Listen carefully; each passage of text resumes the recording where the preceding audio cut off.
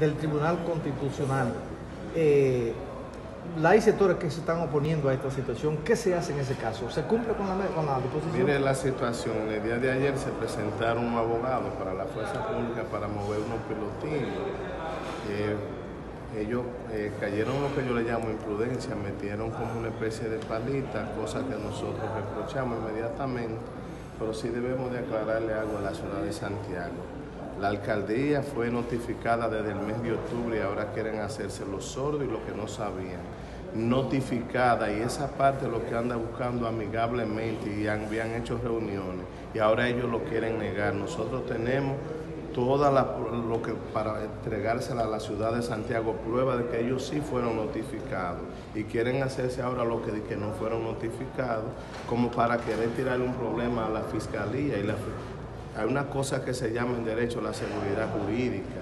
Los fiscales no hacemos sentencia, los fiscales lo que hacemos es que ejecutamos. Inclusive para un fiscal apresar a un ciudadano debe solicitarle la orden al juez y eso es lo que ha pasado, pero esperamos que en las primeras horas de la mañana nos vamos a reunir con las partes. Ellos lo que quieren es buscar un punto como de avenencia, una conciliación, inclusive el abogado de la otra parte, ustedes lo conocen, es un colega de ustedes, está con NG, y él tiene todo, pueden hablar con él para que él mismo le presente todos los medios de prueba y de que desde el año pasado él ha ido a la alcaldía, pero no le han hecho caso y en, un grupo de, familias también, unas 30 familias, lo que pidieron fue mover los pilotillos. No sé de quién fue la idea de entrar con una palita, una cosa. Y eso sí lo vamos, vamos a, solicitarle que, que, reparen los adoquines que dañaron y ya que las partes se unan. Porque lo que quiero aclarar que la Fiscalía de Santiago no tiene, como no es, no es de ninguna de las dos partes, simplemente...